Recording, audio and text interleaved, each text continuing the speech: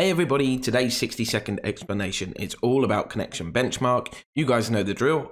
Start the clock. If you're a gamer, you've no doubt run a speed test at some point. When you're gaming online, it's very important to know that your connection is good. Traditional speed tests run a test of your line, but they don't take into account the fact that the signal to your device might be weaker. For example, your PC might not have a strong Wi-Fi connection to your router. Duma OS does things a little differently. It runs a three-stage test directly from your router, giving you a true, more accurate test of your line. First, it looks at your upload and download speed to make sure your internet is working as it should be. If you're paying for 100 meg, you should be getting 100 meg. Secondly, we test your ping quality for 15 seconds so that we can check if your line is likely to suffer from ping spikes that could ruin your gaming session. Finally, we want to make sure that your network can perform under realistic everyday conditions. Let's say someone else in your home is attempting to download a file or they're streaming their favorite TV show. Can your network maintain its performance levels under this kind of stress? That's what we test for. Duma OS then takes all this information from your connection test to optimize your settings automatically, preventing lag from interfering with your gaming session.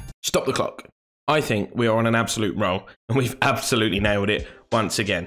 Go us. On the screen now, as always, all the places where you can get access to Duma OS and all of its features. Hope you've enjoyed the video. If you had, do drop it a thumbs up. We'll see you in the next one.